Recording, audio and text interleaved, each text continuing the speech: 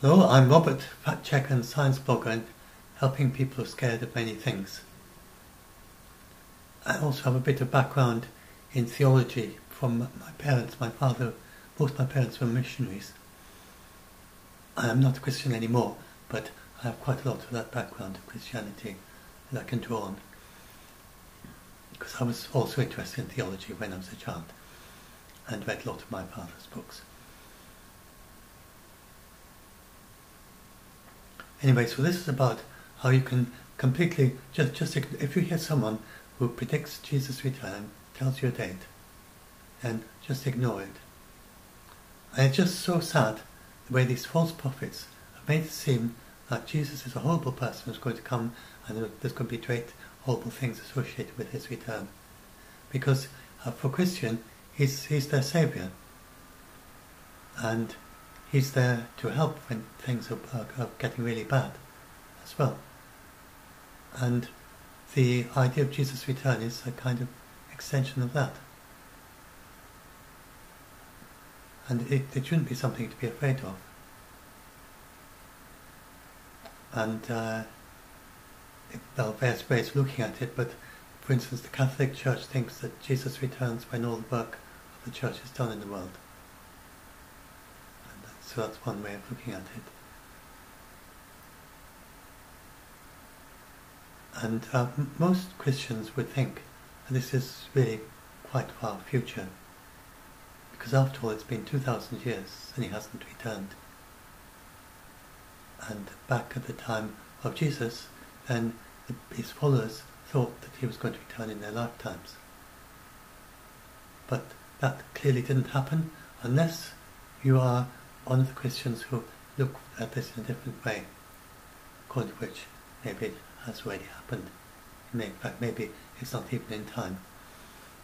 And it's just, um, Jesus is always there for everyone. And maybe it's to do with that more than what, than what the other uh, kind of Christians, ways that Christians think about it. I mean, whatever the way you understand it, um, the Bible says quite clearly that nobody knows the day or the hour, neither the angels in heaven and the Son himself, that's Jesus, only the Father, that's God, those the only, he's the only one who knows, according to the Bible. This means particularly that the people who wrote the Bible don't know. It means that God wouldn't have, left, wouldn't have kind of tried to influence the writers to leave hints, leave hints in the Bible. The people that the Bible was about, they, Jesus didn't know, the apostles didn't know, nobody knows. So the idea of going to the Bible to try and find a hint about this thing that God hasn't told anyone, it just it doesn't make sense. It's, it, it can't be there. There can't be any hints in the Bible. Not if nobody knows.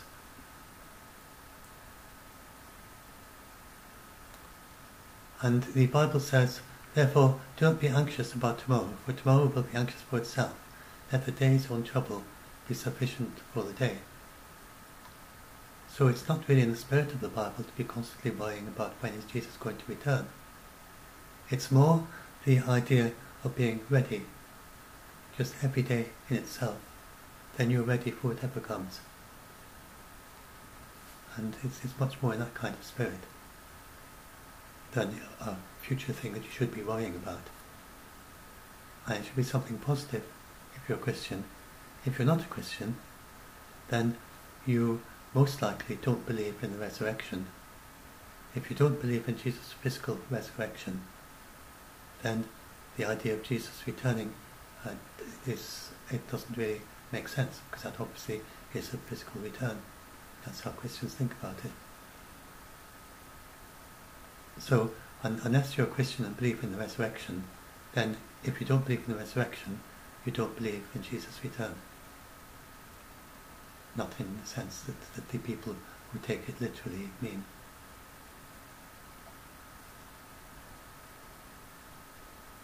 Then that's not one of those ones about. So this is not saying don't plan. Of course plan and think about the future and so on. But it's about being anxious and constantly worried about what's what's going to come next rather than dealing with things as, as you as you come up with, as you have to, as they come to you and as you have to deal with them. Being caught up always in the future, never in the present.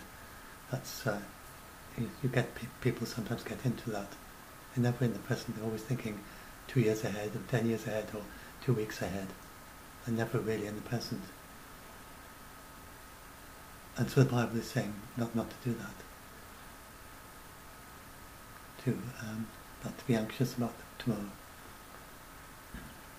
And then the Bible says very clearly that's the, um, the love, love of God. And they say that whoever loves has been born of God and knows God. In other words, it doesn't mean that, that you have to believe in God. If you have that loving kindness, then you've been born of God and you know God.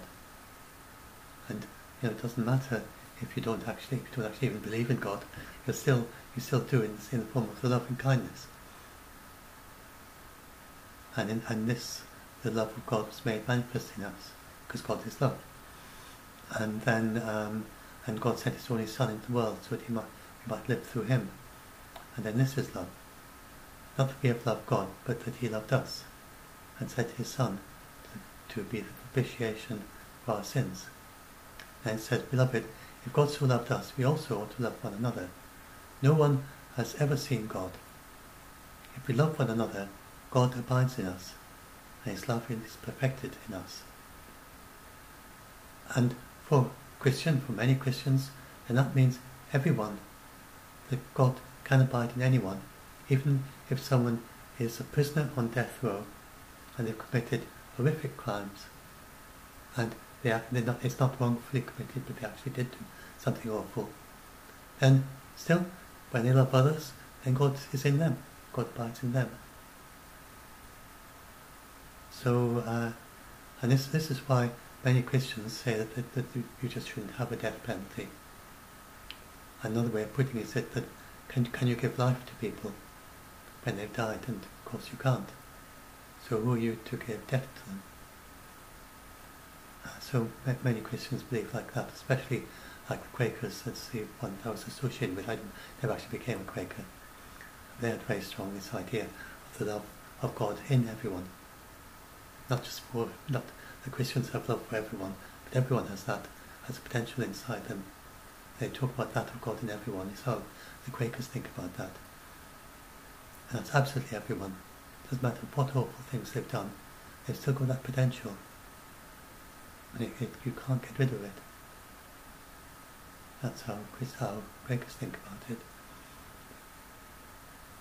So the and so there isn't a puzzle or a game or a cryptic crossword for the date setters. I mean, if they wanted to give a date, they could have just said Jesus was plain speaking. If he wanted everyone to know that he's going to come back on the 1st of January 2001, he wouldn't have put a puzzle and, and said some puzzling things that if you kind of mix them together and you, cut, kind of, you take some of the words from some place and some from another and put them together and put them through a kind of mixer or something, then eventually out pops the date. That's not the, that's not the way the Bible works.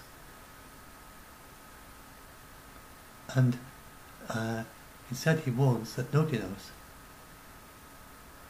And uh, the, also, it's absolutely clear that using the Bible for trying to prophesy things, it simply never works. Trying to prophesy Jesus' return. People have done that for 2,000 years. And nowadays they do it a dozen times a year.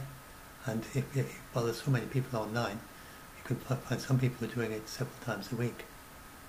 There's one particular notorious uh, false prophet who does it several times a week. There's another one who does it just about as often. And uh, they, there's no method of predicting anything has ever had such a, bad track record. And as I say there, that's not the fault of the Bible. Because the Bible says in no uncertain terms not to do this. It's, the Bible itself says not to use the Bible in this way. And um, I already read the first bit how nobody knows, so you can't possibly find it from the Bible. And then the whole idea about prophets, you get these people working on these incredibly complicated calculations. You get these pages and they use they use Daniel's prophecy in the Old Testament, which is the Old Testament law before Jesus. So how is that about Jesus' return? And then and they use various other things, and they um, and then they, they get these pages, often with red and red text on it, and lots of capital letters, um, bold, you just entire sentences of capital letters and that sort of thing, and often quite high, and a bit of an eye strain just looking at the page, and with lots of numbers, and it doesn't really make a lot of sense, except presumably to the people who wrote it, it seemed to make sense. I think they're quite a bit like people are manic depressive in their manic phase, and things seem to make sense, but what they're saying is not sensible. Their mind isn't functioning properly. And you and then you get others who are just bullshitting, which means technical term, I'm using that as technical term means they haven't got the eye on the truth at all, they're just trying to be impressive. Or they fancy themselves as a prophet. They don't really think much about what they're what they're actually saying. And uh, but that is not how prophets work in the Bible. So uh, some Christians would believe there's such thing as true prophecy, but if there is, it's very rare. And the Bible says, above all, you must understand that no prophecy of Scripture came about by the prophet's own interpretation of things. So that pretty much crosses out everyone who's a false prophet. The truth, the truth that we have to debunk in the in the group, there always comes out their own prophet's own interpretation of things. They always always, I, I can't remember one I've debunked where it didn't come out of the prophet's own interpretation of things. For prophecy never had its origin in the human will, but prophets, though human, spoke from God as they were carried along by the Holy Spirit. And so uh, these people just don't do that. They're not prophets, not in the Bible sense. And then the um, I, I don't know what that particular one is. And then there's another thing. If you say in thine heart, in thine heart, how shalt we know the word which the Lord hath not spoken? Uh, and then when a prophet speaketh in the name of the Lord, the thing not, nor come to pass. That is the thing the Lord hath not spoken. But the prophet hath spoken it presumptuously, thou shalt not be afraid of him. In other words, if someone says that something is going to happen, and it doesn't happen, then you know that that was not God, the Lord speaking, because the Lord never does that. And then again, so we have these perennial false prophets. They're just constantly producing these false prophecies, one after week after another after another. And uh, or and that includes if they have dreams and they think the dreams are from God. But if the dream then says something that is false, then you know it's not from God. And so you, you just shouldn't listen to these people.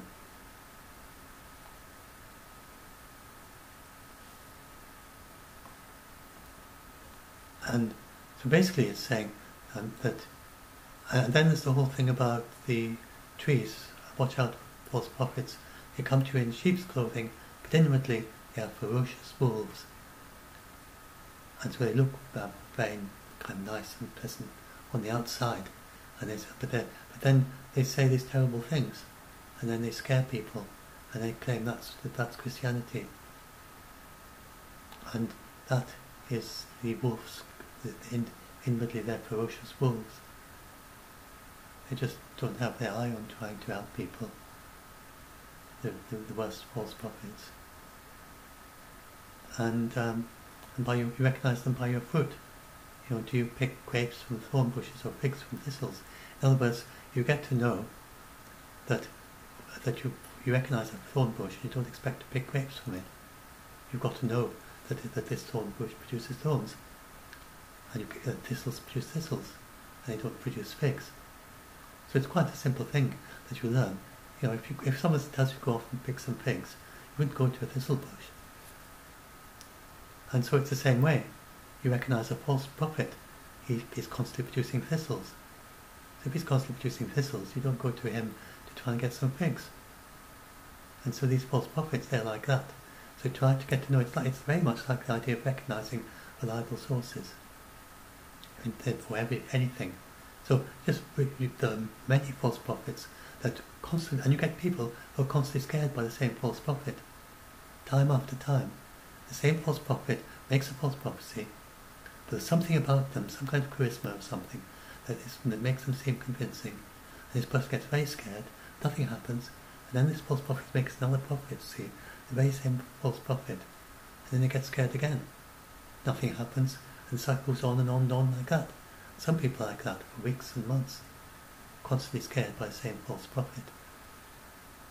So that, they haven't really learned this lesson that you should uh, you should learn to recognize that uh, um, that figs don't come from thistles and grapes don't come from thorn bushes.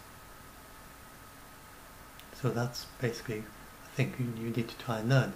And generally, the um, the the people maybe within their own culture it's okay. These people with the dreams of Jesus coming, especially young children and so on, and for them it's very positive.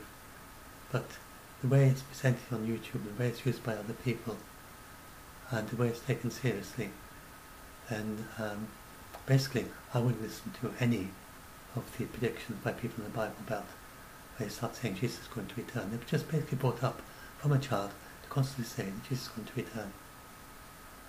And they, they, they're never right.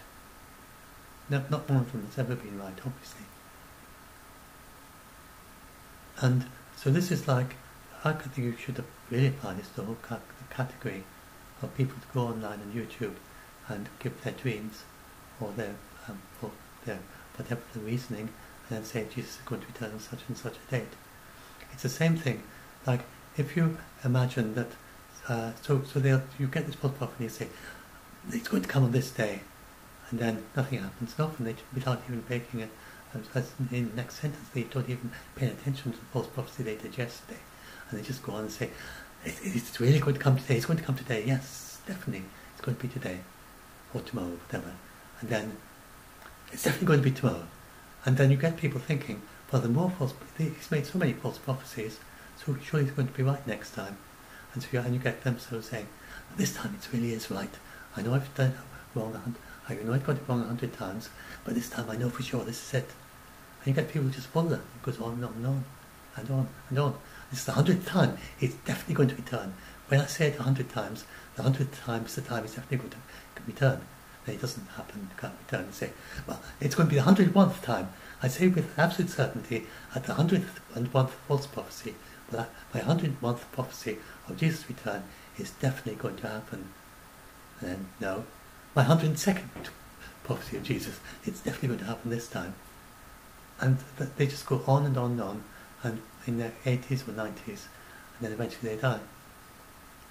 And uh, over time, how long they live and you do get false prophecy, prophets who can be, just keep on prophesying on and on throughout their life.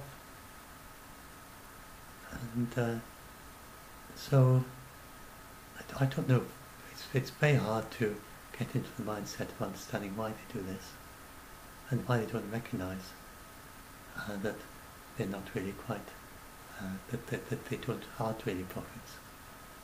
They just fancy themselves as prophets and they, they don't seem to be able to recognize that they aren't even when I keep failing over and over and over and over and over and over and over and over and over and over, on and on and on. And then 10 years later, after failing every, every, nearly every week, they still think they're a prophet. And so imagine if someone came to you and said, there's going to be a hailstorm tomorrow, and there's going to be hailstones as big as hen's eggs, or as big as, uh, even bigger, you know, as big as footballs. And nothing happens and then they say, definitely tomorrow there's going to be a hailstorm, and it's going to be hailstones as big as, as uh, footballs. And again, nothing happens. Hundred days later, well, I, I, got all those dates wrong, but this time definitely, absolute certainty, hundredth time, I've made so many mistakes, I must get it right this time. You can't help but get better by continually trying to prophesy the same thing. And again, no, no, no footballs, no uh, hailstones the size of footballs well, the sky. And they, they don't make things happen by doing all these false prophecies. And doing lots of false prophecy doesn't make you, it's not something you learn by and get better by getting it wrong. It's not like riding a bicycle where constantly falling off the bicycle and eventually you learn to ride it. But if you constantly do these false prophecies, you don't eventually um, get to the point where you're actually telling the truth or actually um, prophesying. It just doesn't work like that.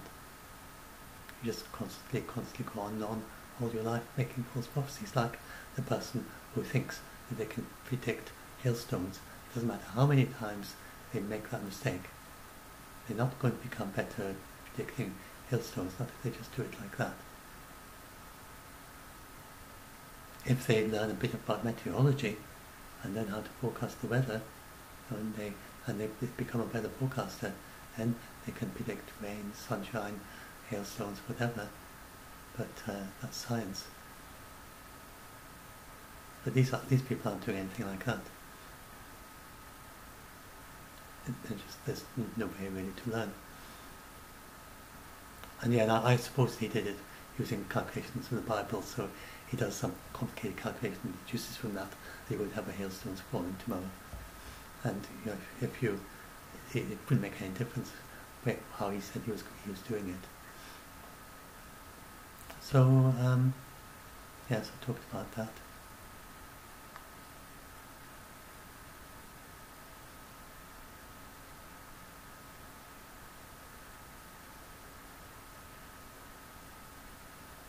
And the traditional view is that uh, that the that immediately before the second coming, then God would announce it.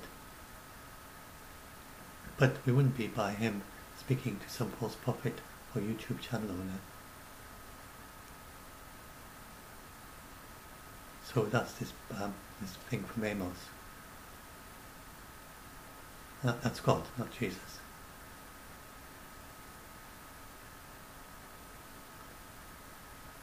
And then you have these people hear a mysterious hum, and that is not the same as angels with seven trumpets proclaiming it throughout the world. But uh, you, you, you, you shouldn't actually have to believe it and take these things literally as uh, um, as a Christian, and then you need, need to. Uh, there's no if there's nothing physical in the physical world, no scientific reason for anything to happen and you don't have to uh, kind of, uh, what's it, just ignore the science and just say, well, I'm a Christian so I can't follow science. So there are quite a lot of Christians who just think that Christianity is not in any way incompatible with science.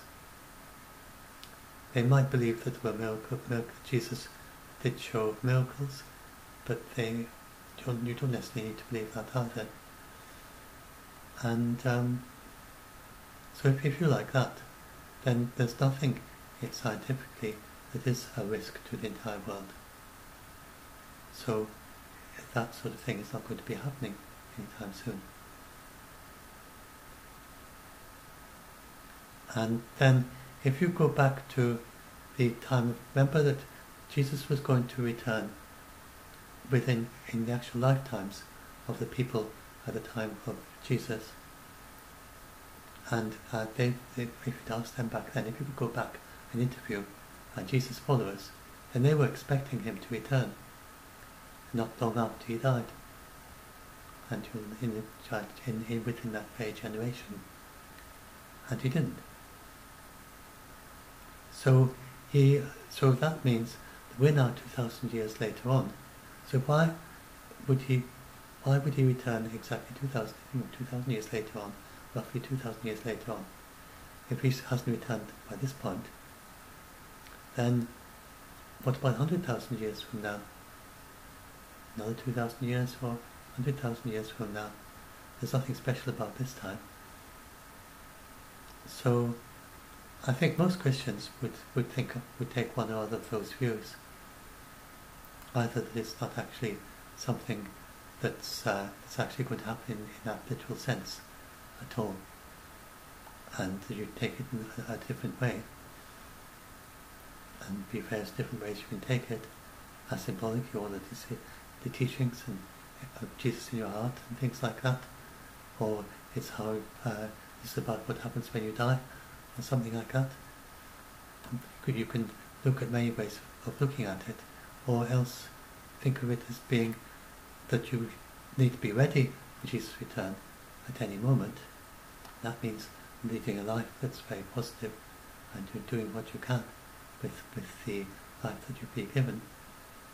and then and then at sometime in the way way distant future, then you could imagine that at some point it's going to happen.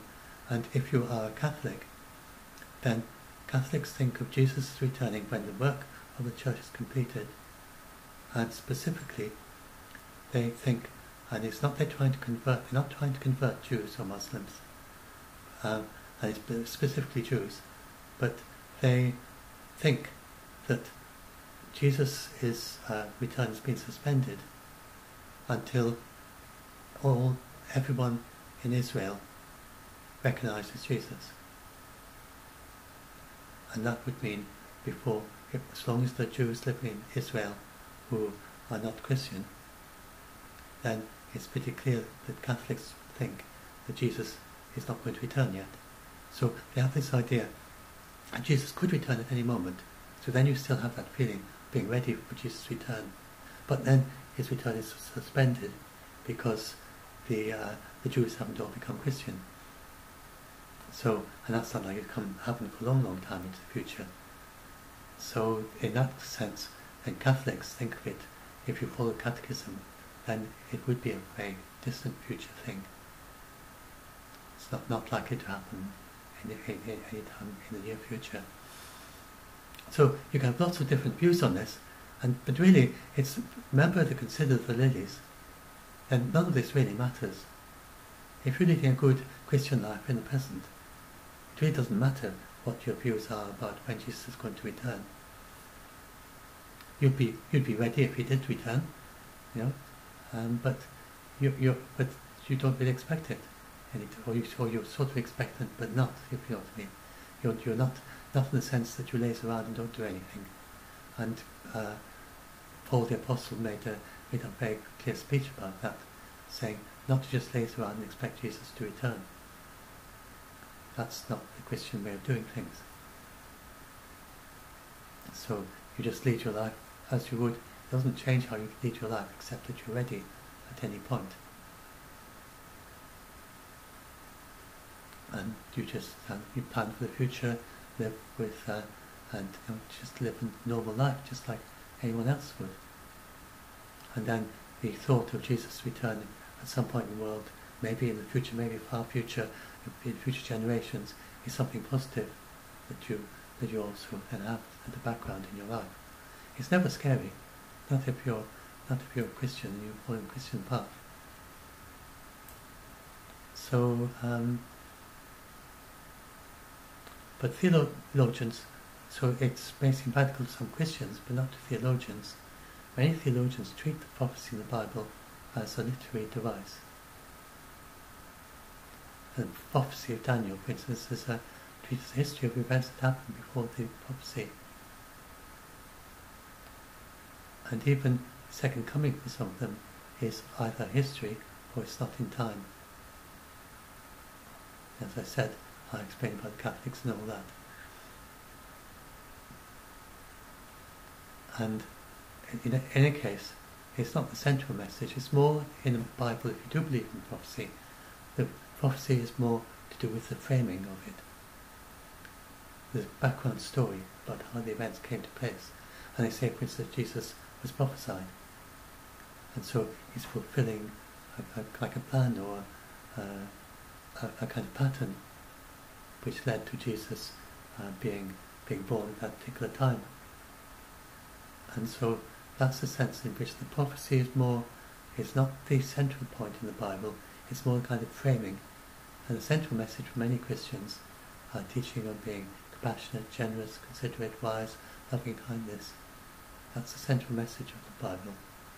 And as I said at the beginning, it's not really um, believing in Jesus that's the central thing. Jesus is like the support as well. The central thing is the love and the kindness. That's the central thing. That is that is God in you. And that's how uh, Quakers used to think about it. Quakers think about it. And you, I read that passage about how God is love, and then how if you if you have love in yourself, and that's God in you. So, uh, so that would be the central point of the Bible for many Christians.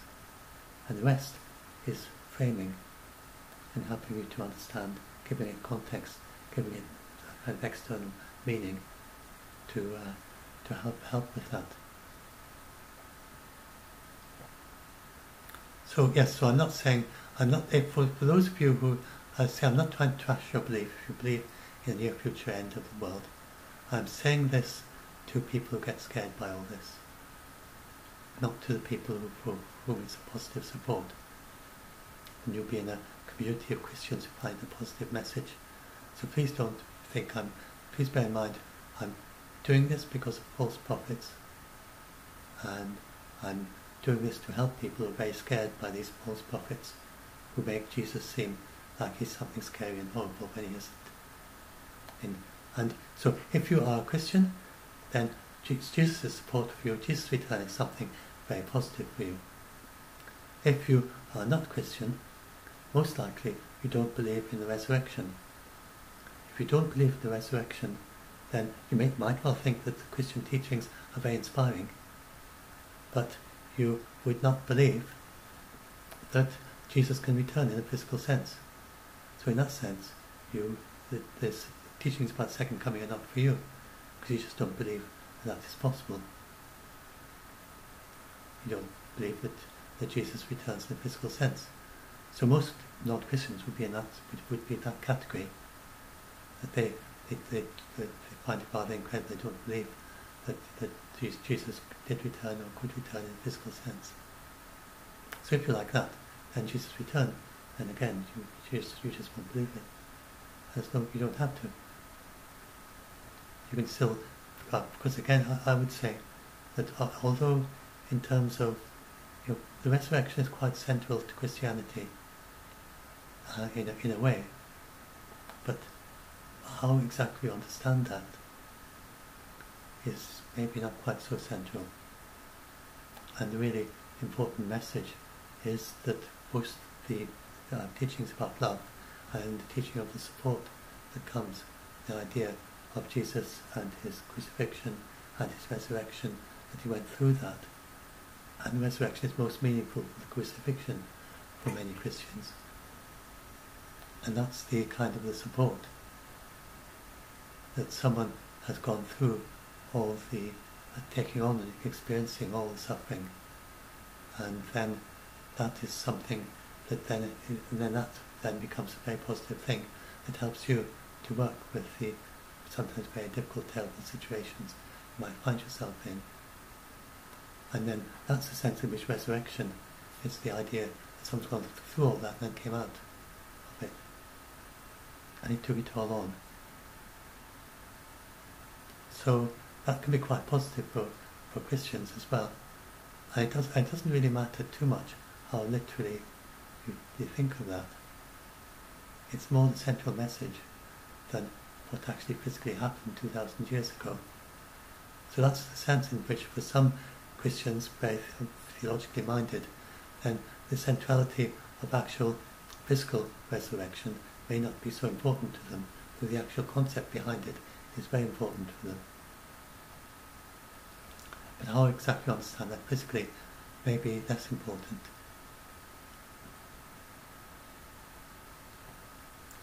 So, uh, and th- so these are different views about the book of Revelation. So some say it be understood in the context of its own time, and some that only a portion of it has occurred, now that it's best understood spiritually. And then there's the idea that it's prophetic and that the literal Armageddon in the future is the fourth of those ways. So yes, I'd just like to talk a little bit about the, uh, the nature, idea of an antichrist first of all, and the idea of the beast. So, uh, antichrist itself in the Bible is there's not a single antichrist. It's often in plural, and um, many the so so the the Antichrist is it's not really so central for most aspects of Christianity. And and then the beast in the book of Revelation that necessarily is the Antichrist anyway, or Antichrist. And the um, so you get these people saying that, especially like worrying about the COVID nineteen vaccine, and saying, oh, I think this vaccine is, uh, has been sent to us, it's, it's been produced by the beast.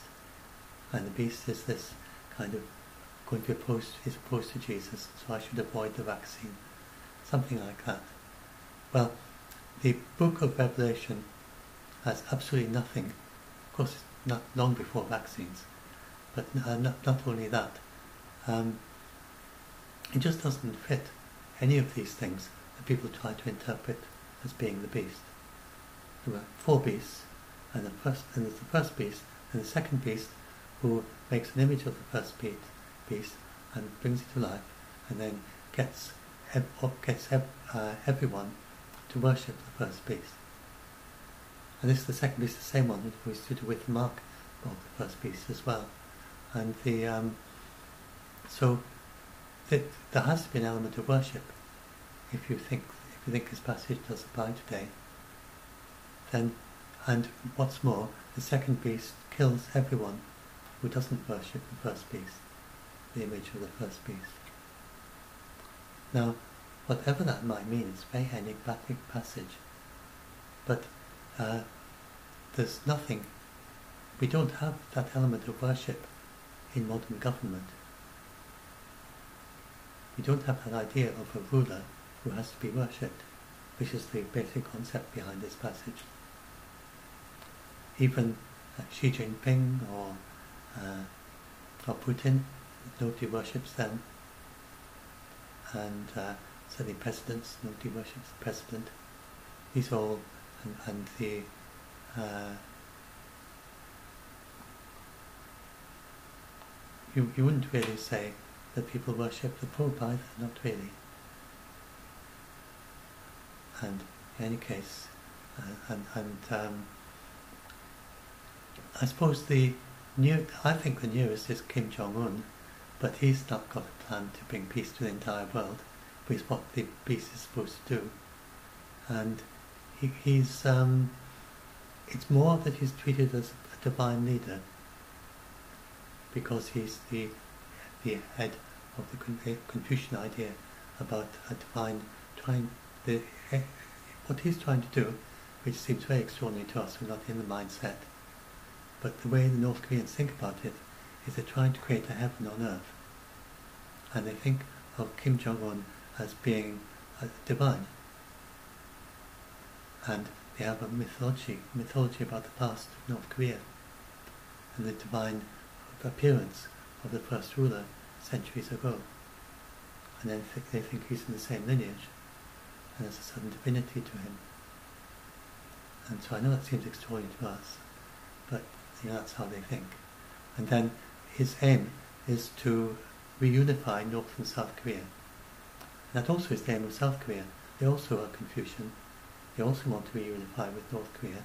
Of course don't agree with his politics, don't agree with his human rights record.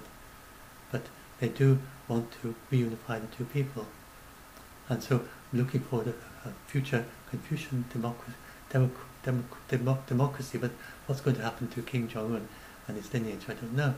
But uh, that is, that's the sort of thing he's thinking about. Now that's not the Antichrist, because he isn't trying to bring, bring about, um, he isn't trying to bring out peace in the entire world. He does want to bring about peace in Korea. And um, but their, their focus is completely limited, uh, focused to uh, Korea. And um, and and it's not really, it doesn't really match the Christian idea either.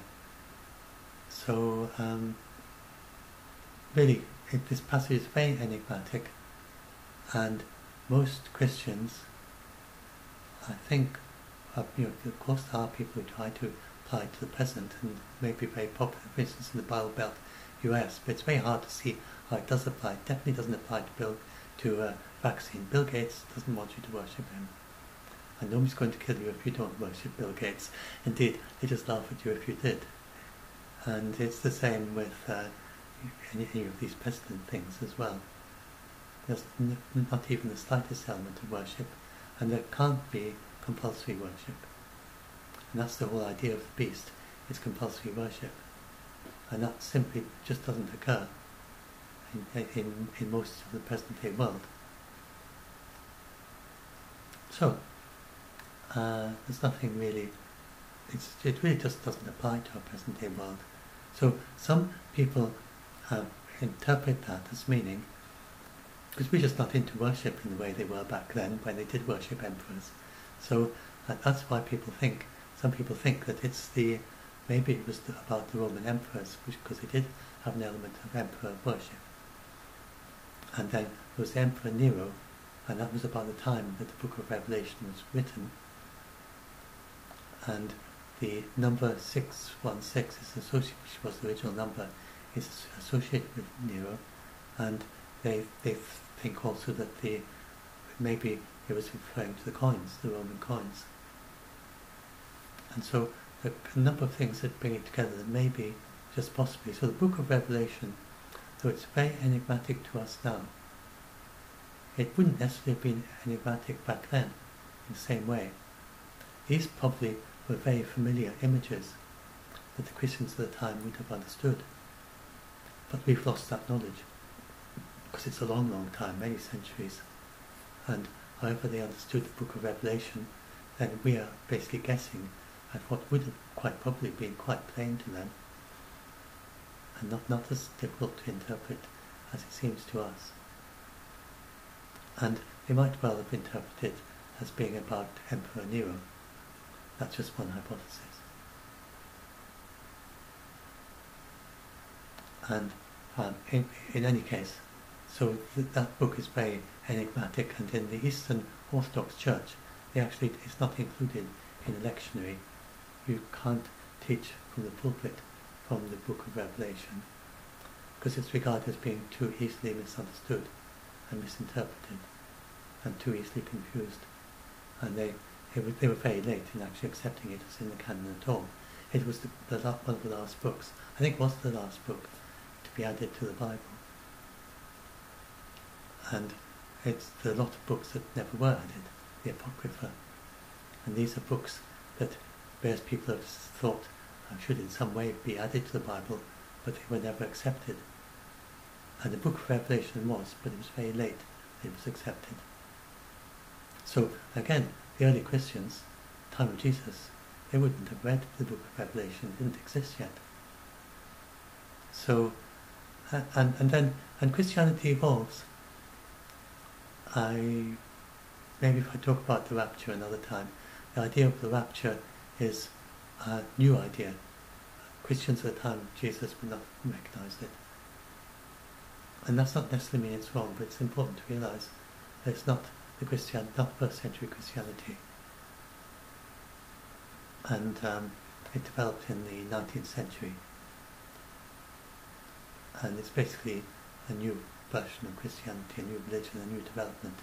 But an awful lot of the Christianity isn't static, and nor is Judaism.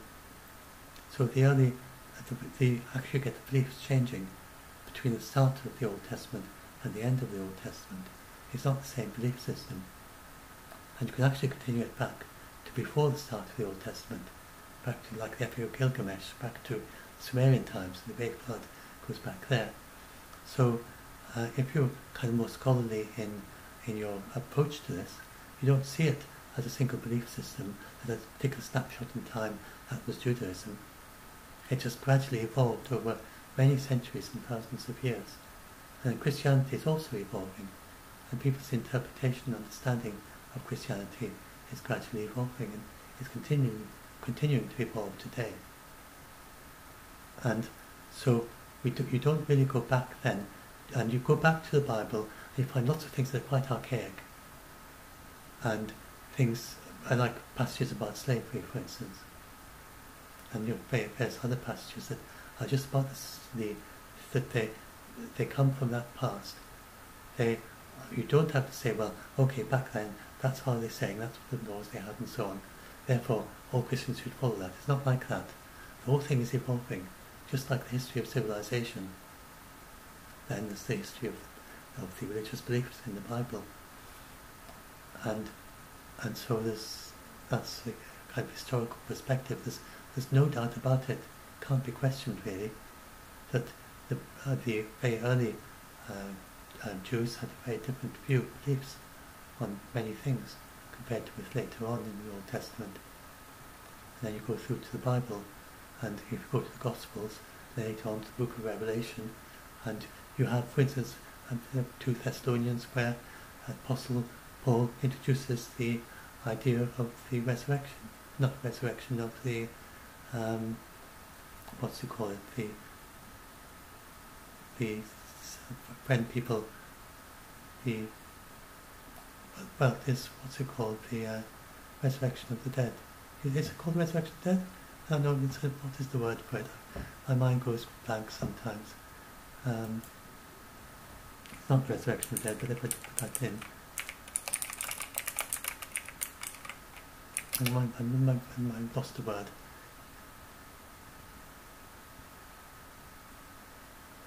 But anyway, you, you know what I mean. That goes back to 2 Thessalonians. Oh yes, I, oh, I think you do, I, I got it right. It is resurrection of the dead. Yes, I, I don't know, I've just got a bit of a glitch in my thinking then. Anyway, yes, so uh, that, that's the, that was idea was introduced in by Apostle Paul, isn't in the Gospels. So that's an evolution of ideas already. And maybe Jesus did teach that, but you know, it, it's not in it's not in the teachings until after, long after him. The very few actual words of Jesus, if you go back to the Bible, and then uh, so if if you think about the uh, Bible as being more historical than that, then you have a kind of softer approach to it all less less hard line. And it doesn't mean it's wishy-washy, but it's just that you you don't feel you're not so tied, and it's more kind of really putting it to putting the teachings. It's really about putting the teachings of the Bible in into the place into into your everyday life, and that's where it's at. Rather like than going back to the Bible and saying, you know, everything was sorted out back two thousand years ago and the whole thing is set in stone and it's all crisply demarked. I've got to know every single sentence in the Bible and live my life according to that sentence. It's more like it's something that has to continually change depending on every situation you're in and, depending, so it's much more a living thing. So it's the living word. You talk about the living word of the Bible. It's not a fossil. So if you have the idea that the Bible is a fossil and at that particular time it got fossilized uh, in, the, in the first century AD, and you've got to live as if this was the first century AD, and as if everything, and as if technology was no longer existed or whatever, and that's not really how most Christians don't think of it as being a fossil, and think of it as being a living religion, and that the inspiration goes back there. You're constantly going back with inspiration, but you don't have to think that you uh, that you you've got to think about, about a, something that's got to continually reinvent itself and re- become refreshing over and over again. Continually refresh itself without losing that connection back to the first century. And so that would be how many Christians would think about Christianity today as a very much a living religion where things aren't completely set and you have to work through things and try to understand things and work with things in your life. So if you have that background, then these people again who go back to the Bible and they say, well, you know, I add up the number of letters in this in this sentence, and this is going to tell me what's going to happen in the future. That's completely different. You know, that's it. Just doesn't. It's not not the way most. It's not the way Christianity is going for most people these days. I would say, except for some very fundamentalist people. And I, and then, uh, even then, I mean, very few people would say, would take the Bible so literally, that they think that the sky is hard and blue like lapis lazuli, and the angels have their um, have their their cisterns on top of the sky and they throw it out full of snow and full of rain. You know, that's in the Bible, but you don't take that literally. So um, we and you know, you don't say the world has to be flat because the early uh, Bible descriptions look sound like a flat earth. So it's, it's like that. And so, this, so if you if you do it like that, then you'll be less tied, you'll be less vulnerable to these people who are trying to tell you. Because if you if it's a living word and you're living it in your own life, then it's much less that people somebody else is going to say, well, you know, this is what it really means. Because you're finding out for yourself what it really means. And so of course you listen and you listen to what you're being taught about it, but then you try and apply it in your life. And if it's a living religion, it's actually for, because for a true Christian, then Christianity actually literally fulfills their entire life. Not in the sense that they're following a little rule book all the time. It just infuses their life. It just it just goes through it all. And it, not in a difficult way. There's a support, there's something very easy. And it, it, it lifts, up, uplifts them. It's uplifting religion if you if you really are following Christianity. And you follow Christianity in, in what many people think nowadays, like modern theologians, how they think about Christianity. Something very positive and uplifting that goes all infuses through your entire life, infuses out to other people. They don't have to be Christian. And it's something that works with anyone of any religion. And they can be like your family, even if they're completely different religions. And that's still the work of God and, and love of God. That's the way you see about it. And that's the teachings of Jesus, even though it's someone else's religion. And even if it's not your ideas at all. So that is how it's possible, for instance, for a Christian Catholic nun, I think she was Catholic, to become a Zen priest. And a Zen uh, uh, regarded as someone who's, who's uh, has got the, the has seen has seen has awakened to seen something and is able to teach others uh, others the practice of Zen Buddhism. She was really quite a high teacher in the in Zen in Zen Buddhism as well as in the Catholic religion. Um, she's a Catholic nun, and you don't have those. If you're really following the very living, um, the living Bible, then you don't have those sharp divisions. And people, some people get very puzzled. And they think, how can uh, Sister, whatever her name is, Catholic Roshi nun, let's look up her name. And they think, how can that be? That doesn't make sense. And some people it's just um, her sister, and that's not her, Catholic Roshi, her sister, um, what's her name, Elaine was it? Yeah, Zen Catholic, her sister Elaine MacInnes. So she is a good example of someone who's living Christianity and Catholicism, and she's also living Zen Buddhism at the same time, and she sees no contradiction between the two. And so people with a very fluid mind and who are living the religions they're doing, it fuses their entire life. They're living Christianity and living Zen Buddhism, and if that's very, very going all the way through your being.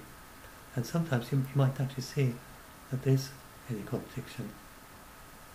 It's, it's, the, it's all just, it's infused your being, both of them. So, uh, so that's also something to bear in mind. It can help you to be more open-minded sometimes to people of other religions when you realize.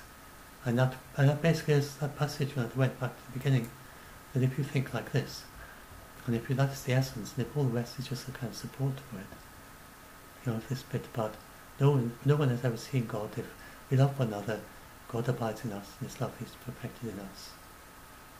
And uh, anyone who does not know love doesn't know God.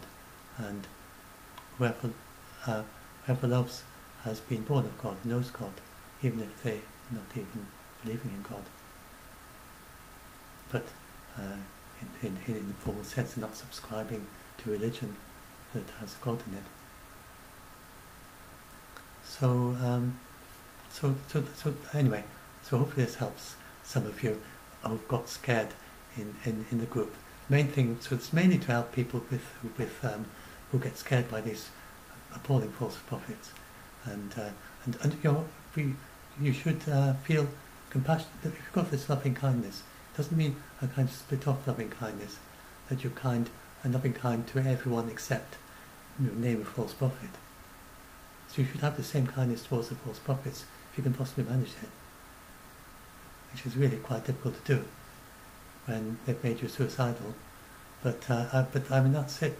You're really you're much freer in the world if you don't kind of bear grudges and keep the grudges and just think, you know, I mean, this person made me suicidal. It's really, I'm, I'm very upset. I've been so had such a bad impact on my life, and you know, I've been, I've been trying, to, I've tried to kill myself because of what he said, and I've, um, you know, you say, you know, I've actually got everything ready and I was about to do it, or even I even did attempt it, and you, you, you might say, and, and you know, you've been uh, numerous uh, panic attacks, heart racing, vomiting with anxiety because of his false prophecy.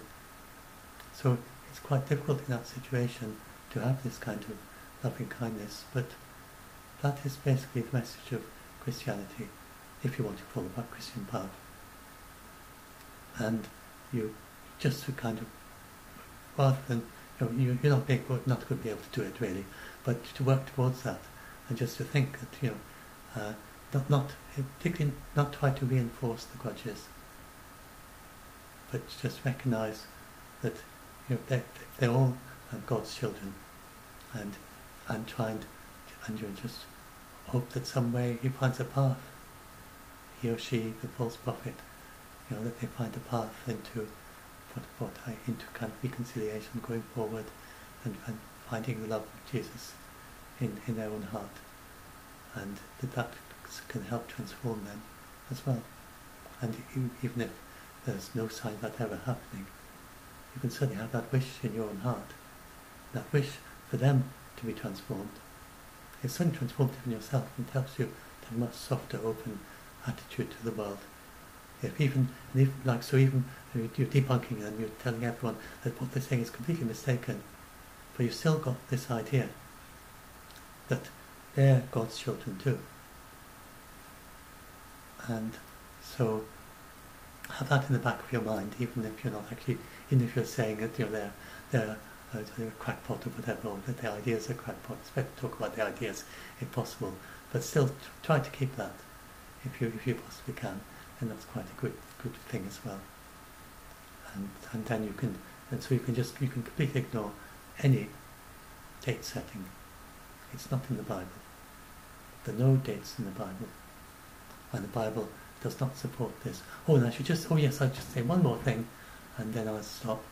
So you often get these dates from the uh, uh, Jewish rabbis. And the Jewish rabbis, they, they, they're very different from Christianity. Remember that they don't recognize Jesus at all. And they, they don't think Jesus was their Messiah because he didn't bring peace to the entire world, which is what they think happens. Whereas Christians think about it a slightly different way, but the same, same basic background. So they are waiting for their Messiah. They're still there, still waiting. So the, all the things about Jesus' return don't apply to the to the Jews. So there's, there's, no, there's, there's nothing telling them that they can't prophesy their Messiah. And so when Jews prophesy, they're not, they're not doing, going against their Bible, which stops at the end of the Old Testament, along with lots of other uh, things that we don't have in the Christian, or what you don't have, Christians don't have.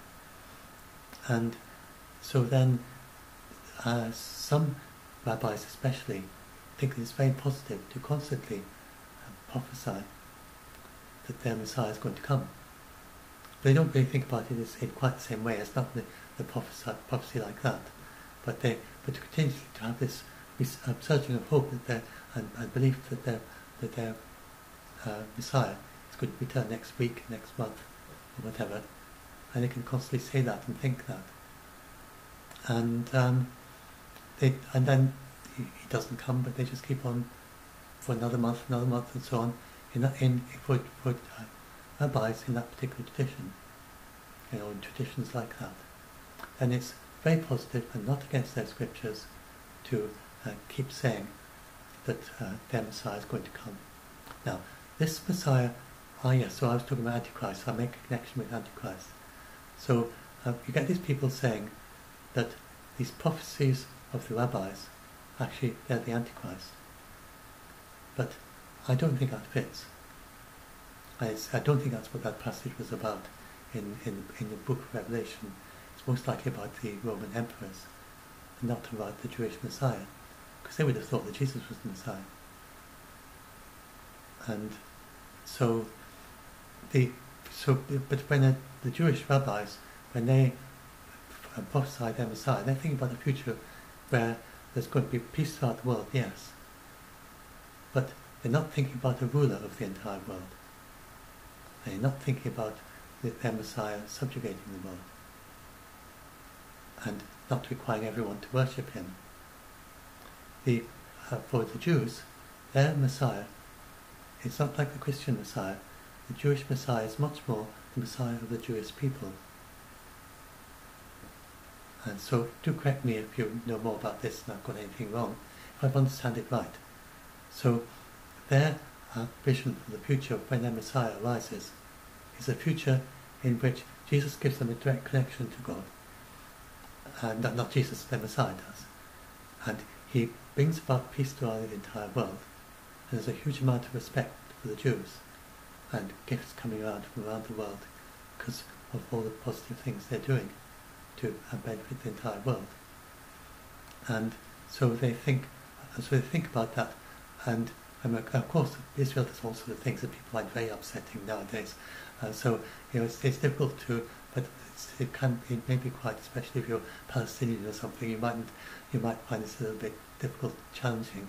But the um, but that's that's how they're thinking about their Messiah, and the um, they they think of the Messiah as being complete peace throughout the entire world, but they think of that not as being that their Messiah rules the entire world, not not like a ruler. The, Messiah is the Messiah for, for, for, the Jews. and he's like a leader and uh, you know, someone who's bringing bringing back their their he's, he's not even and not the was a Messiah, the first Messiah and the only Messiah in their religion. It's not that he came back. So it's actually quite, quite difficult again to see how that could actually happen. You could have a real world person who could fulfill all the different ideas, of all the different branches of Judaism and bring them all together that would be a huge challenge anyway. Uh, never mind everything else. But, uh, but that's what they believe. And so when you get these, uh, these prophecies of the Jewish messiahs, they're prophesying a very peaceful future and they're not thinking, it's not, I think it's completely wrong to co- connect that with the Christian idea of an Antichrist. I think I, that's, that's not the Jewish Messiah. So I think that's quite important because you get some Christians who do that. So it's so you get these endless um, prophecies of the Jewish Messiah, but it's nothing to do with the idea of an Antichrist, and it's very positive for them to to uh, prophesy this because they're thinking about a peaceful future. Most there are different ideas about their their Messiah, but that's the definite definite idea is peaceful, maybe totally peaceful, or maybe there's some uh, element of something having to be and, and to vanquish in some way, and then their Messiah. But it's not the idea of a kind of world war or anything like that. And um, and and, the, and there's a possibility of their Messiah, the two kinds of Messiah, and the one could be totally peaceful. And I don't know which of the two it would be. And if you look at the Jewish Jewish um, teachings on it. And uh, Anyway, anyway, so that's uh, that's just to help people who, who so again it's pretty obvious. It's not it's it's not going to be anything like the ideas in the Book of Revelation. I don't think you can think of that as being anyway. way connected with the Jewish idea of a Messiah. I'm sure that people who wrote the Book of Revelation would not have thought of it being anything to do with the Jewish idea of Messiah. Because, as I said, they thought that Jesus was the Jewish Messiah. And um, anyway, anyway, so I hope this has helped helped deal with a few things and a few things that, that scared people. And the main thing is, and I think know, this, this very positive thing that Jesus, Jesus, the idea of Jesus as a saviour is something very positive. It's to do with being kind, it's to being being generous and uh, compassionate, helping other people, you know, leading a positive life. And if you're doing any of that, then you are following um, Jesus and God. It doesn't matter even if you're not Christian. Then you're following the central message, which is the central message in, in all the religions really. And so, and so again, you know, if you, you get people saying, "Oh well, you know, if you if you go and scratch your ear three times, you go to hell or something," and that's not really that's a very uh, kind of comic book idea, and that's not really what Christianity is about. It's, I think, would be very not many theologians who would would believe that this little that this, it works like that. So anyway, anyway, hope, hopefully this uh, helps some of you in the group because I've been specifically a- a- answering through this talk. I've been specifically answering various things in our Doomsday Debunk group that come up over and over and over again, and so hopefully it's helped help some of you who've been scared to to maybe find a different a different eye on, on some of these things. And so I'll stop there. Any questions? Then you know, do do do ask, and uh, um, do do come help join the group. To help in the group if you you if you are that um, scared, then maybe the people here can help you. And if you can help people, then uh, we, I mean we welcome good theologians who uh, have a good strong background in theology to uh, to because we get so many, get so many of these false prophets. Well, I think most of them, uh, many of them don't even have a clue. They've not, not never really studied theology, not properly, or they study the Bible and then they just just the have a blinkered view. I think that's how false prophets do it. They sort of look at, I look at this this passage and this one, that's it, and you see something else. That's not quite right. No, I, I go there. I read another bit. No, no. Forget about that bit of the Bible. That's the bit we've got to look at. Oh, no, forget about that. That's that's basically how the false prophets go. Know, mm. it's, it's quite an understandable human reaction. But anyway, but you, so yeah, again, so do do try and have some feeling of kindness towards the false prophets if you can, uh, however difficult it must be for you. And uh, right, I'll stop that and I'll, I'll upload.